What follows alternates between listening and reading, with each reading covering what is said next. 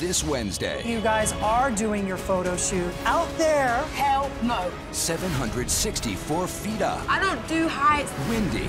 I don't think I can do this. I really don't think I can do this. Stormy.